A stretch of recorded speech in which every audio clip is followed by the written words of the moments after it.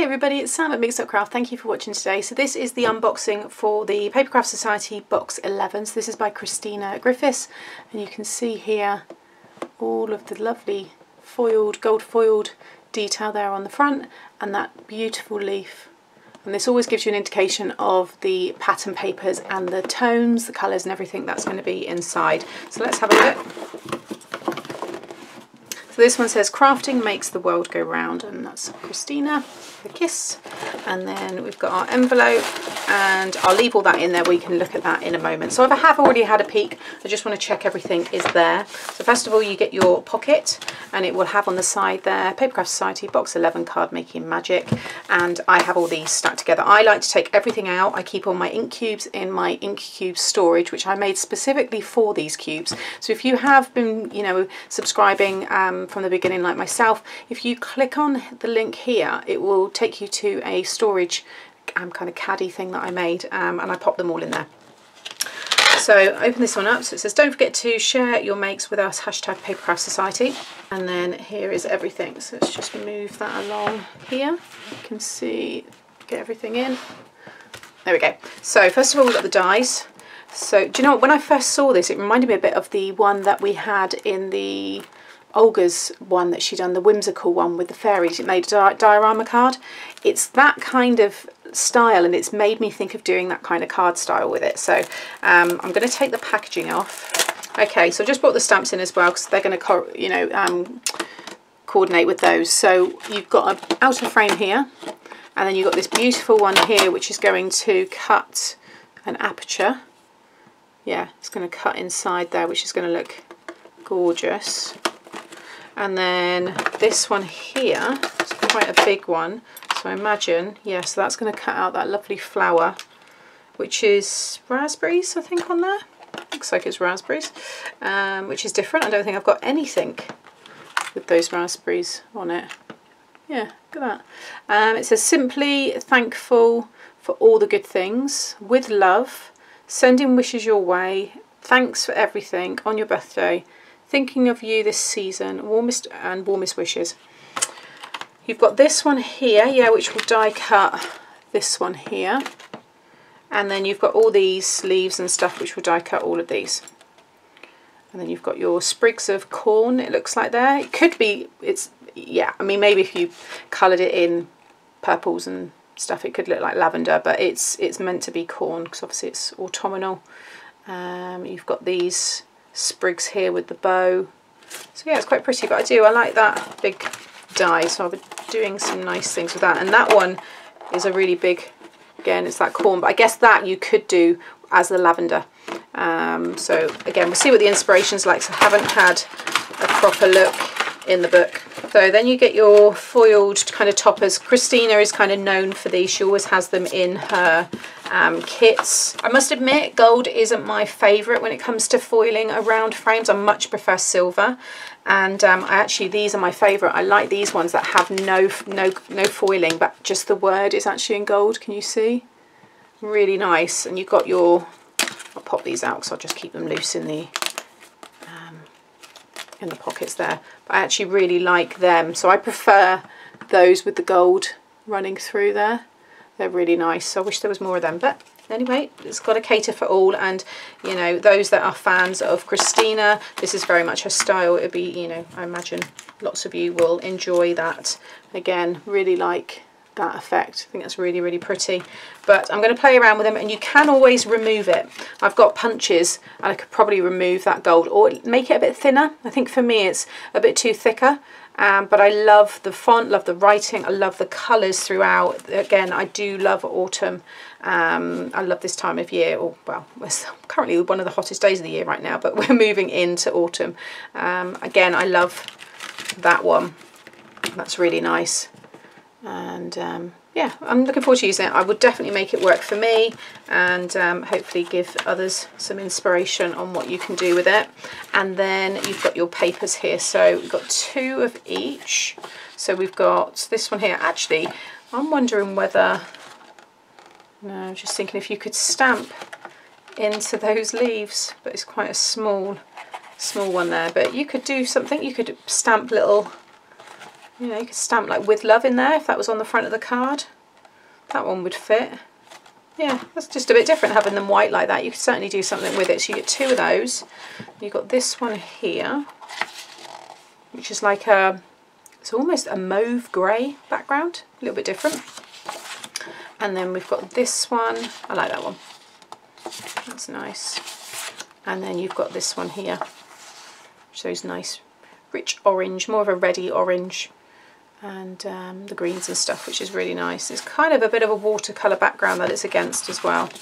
So that's your pattern papers, your toppers, your stamps and dies and then you get your specialty papers. In this case it's card. This looks like a linen card um, coated gold it's a matte kind of finish and you get that beautiful rose gold. I do love that. That's the colours that kind of matches with the, the envelope here. That is stunning. That is so nice. I can see that used with the dies in some way. And then you've got that beautiful gold as well. I like that it's that linen kind of matte finish. Looks really nice. So that's everything in the envelope. And then we've got this lovely orange tissue paper, which I always keep, because I always put them in my gift bags and stuff for presents. So in this one here, we have our ink cubes. So we've got three here. We've got this colour, which is like a purpley colour. You've got a reddy orange and then that olive kind of green colour. They're hybrid inks, so you can use them with watercolours and with alcohol markers, and they do stack on top of each other as well if you want to store them that way.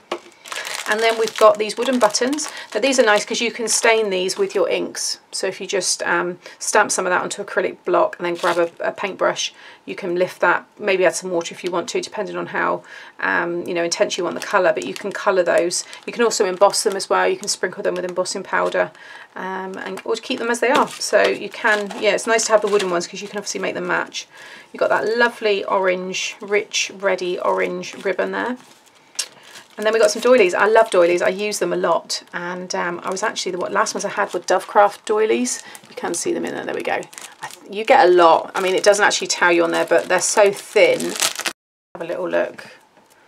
I'm going to say, I don't know, 20, maybe more. I reckon, yeah, maybe around 20. You've got loads there. Again, ink them up, stain them. You can create like, um, use your tea or coffee and stain them, put pop them in the oven and they crisp up really nicely if you want to go for more of a distressed look. They look really, really nice. Then we've got a little information card. So this one says, a little sparkle makes all the difference. So this one is a guide to adhesive tapes. So you've got your double-sided tape, your red liner tape, foam tape and foam pads, washi tape, low-tack tape and transfer tape pens. So that's good. And I don't, I'm trying, yeah, transfer tape pens. Rapidly dispenses neat lines of adhesive onto your, oh, I get you. So glue pen. Is that what that is? Adhesive onto your cardstock, available in temp. Yeah, I think that's a glue pen. I've not known of it to be called a transfer tape pen, but that's something different. There we go. Um, low tack tape for using with stencils, yet masking and inking techniques.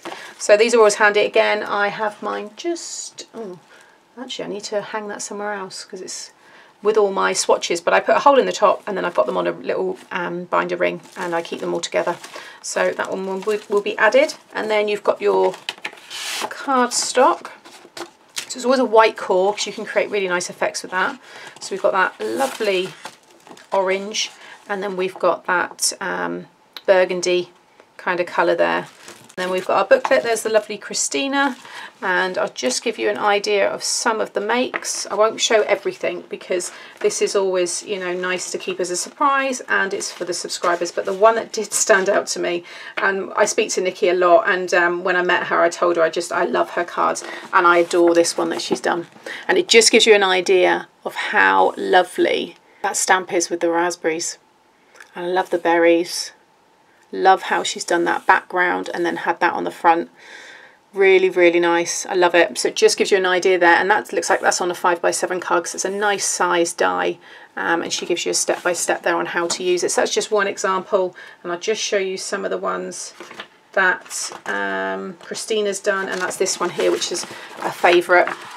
And that's using that lovely die, that pop-out, like, topper, sorry, that I really like. Isn't that gorgeous? Again, she's made it as an easel, which is why I actually said that before thinking of this one, because I had a quick flick through this before. Um, it's just really, really nice the way she's used the buttons in the centres. You can see that lovely lavender um, dye there. Really, really pretty. So um, yeah, that's my kind of way of using this collection, I think. Um, and then obviously you've got the toppers there if you want those quick makes. And um, there's the interview with Christina as always. And again, you can see that die and how it's been used there. A really nice, very big, that looks like a six by six um, card there that they've used. Oh, actually, no, it's five. I'm corrected there. Yeah, five. So, and again, but again, I'm not going to show too much more.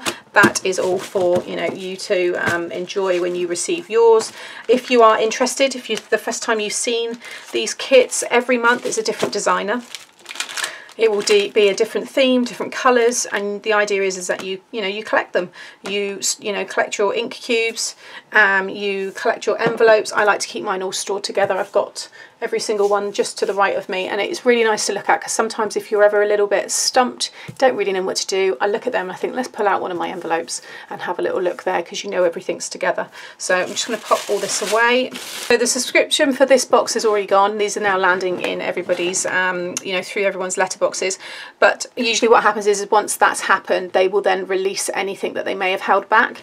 Um, so if this does come up on the website I will share the links below. There are a few left of my box which was the last last one so I will link that one below and I'll link that video unboxing. So I was the designer for the last box so you know again if you want to have a little look at that if this is new to you I will share the whole playlist of all of the 11 box um, unboxings and you can really get an idea of all the different kind of um, just the themes and styles that you get that we've got mixed media. Um, I know already of some of the future designers and there's some really fun stuff happening. So uh, yeah, they're really good. I'll link all of the uh, description options and everything below that you can click on and, and check out and that will list all the prices and everything as well. So yeah, that's the unboxing for the box 11 from the Papercraft Society. And I'll be back very soon. I'll be making some tutorials using this product and again, I'll be using a lot of this during my Facebook Live. See you then soon. Bye.